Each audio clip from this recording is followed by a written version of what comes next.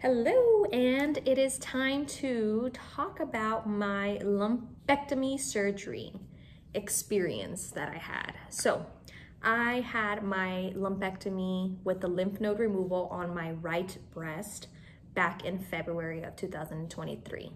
So, that is about five months ago. So, that is about five months ago.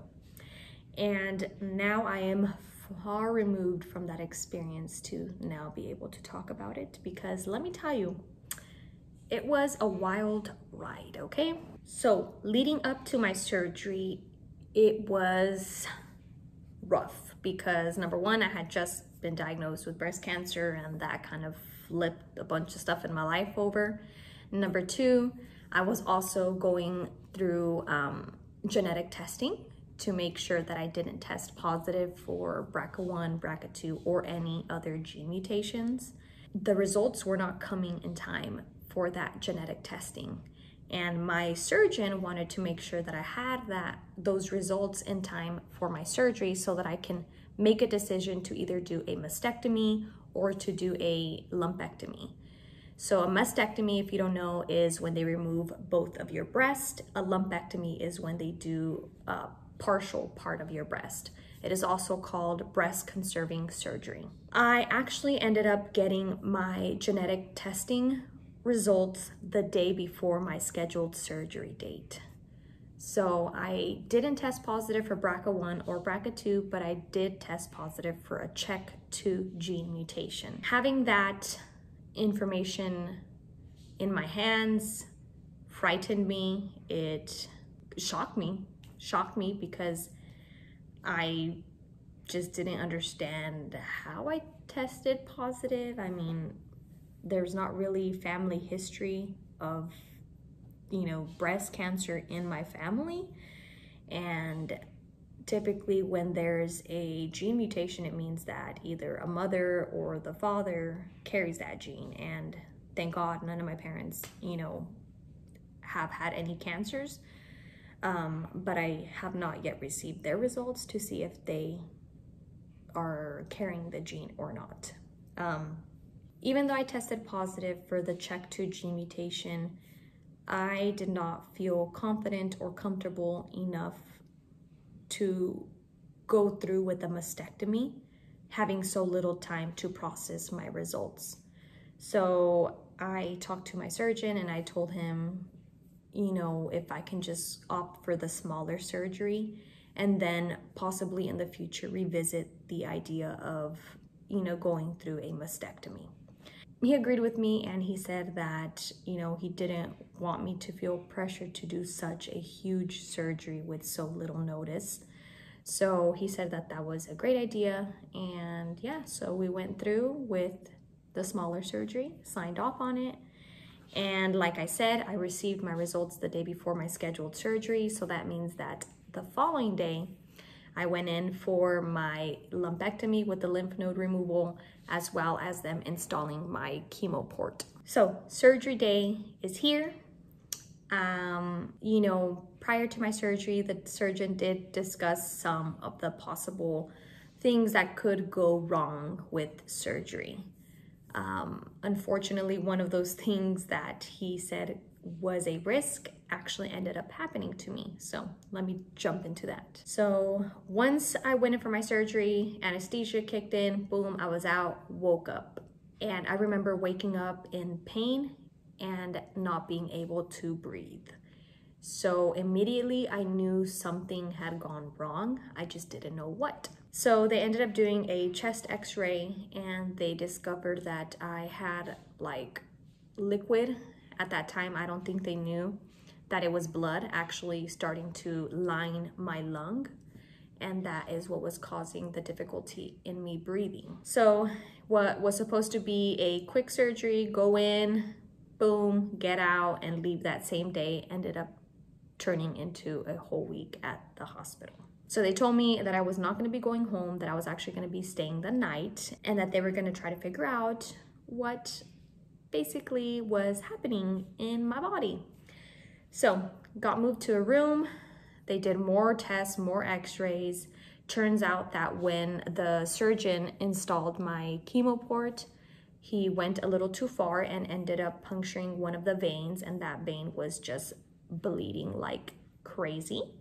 And my lung was getting pushed up and squished and it was very becoming very hard to breathe. So basically i got a partially collapsed lung from the um, surgery from the installation of the port. So my lumpectomy with the lymph node removal that all was fine. It was just this that was the issue. I had a buildup of blood lining my lung and it was difficult to breathe so that meant that they could either put me in through another surgery and try to fix the issue, or number two, they can insert a chest tube and try to drain the blood that way.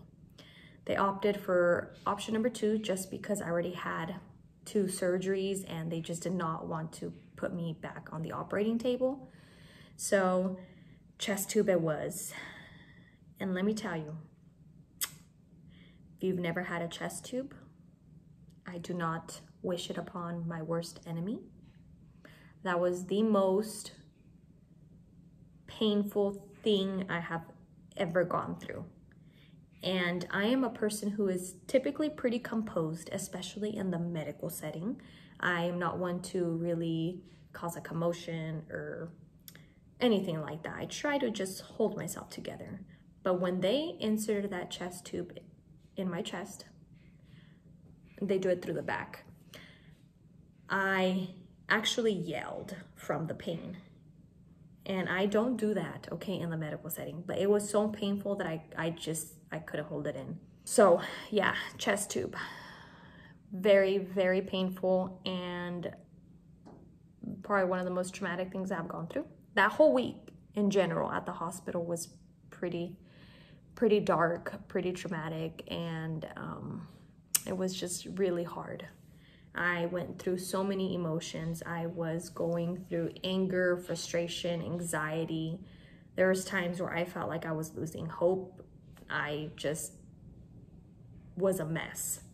There were times as well, though, that I had peace, that I had comfort, that I had joy.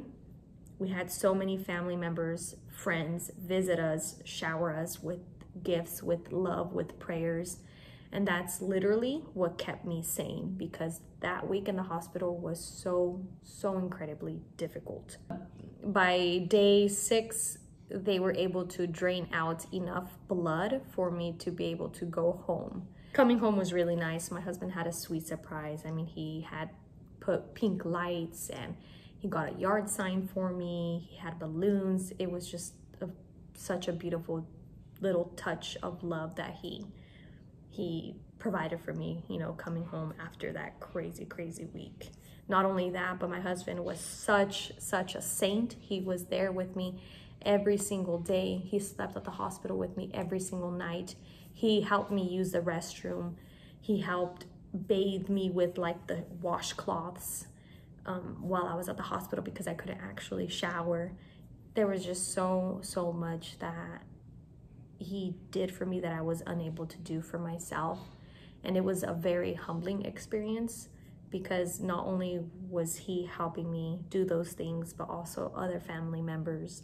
So definitely a humbling experience, but it was also just such a blessing to have family and friends step up and just be there for us in those ways. That was basically kind of just the first half of my surgery experience. Of course, the days after surgery, as I recovered from home, it meant I was just taking things very slow. Um, I had very limited mobility, opening my arms, lifting them, raising them, um, just because I had, you know, part of my breast removed as well as a lymph node. Um, I had a lot of numbness, some pain associated with the surgery, but that was to be expected. It took a few weeks, and I would say even a, month to a month and a half for me to finally be able to regain mobility. Now I have full range of motion. I do not have um, full sensation on the back right here. It's still numb. The surgeon said that, you know, because of the surgery and, you know, things, you know, they removed probably some parts of like muscle or tissue. I don't know exactly how the surgery works, but there are nerves that were disconnected. So it'll take time to hopefully regain full sensation. Maybe I won't ever get it back, who knows? But yeah, but at least I have full mobility, full range of motion, and I am happy to have that back. So that is the end of my story, my surgery recap, and make sure to subscribe if you haven't already. If you have any questions for me, drop them down below. Make sure to also follow me on Instagram. I post pretty periodically there, especially on days when I go to chemo and kind of just give updates. So you want to stay in the loop, that's a great way to do so. Until next time.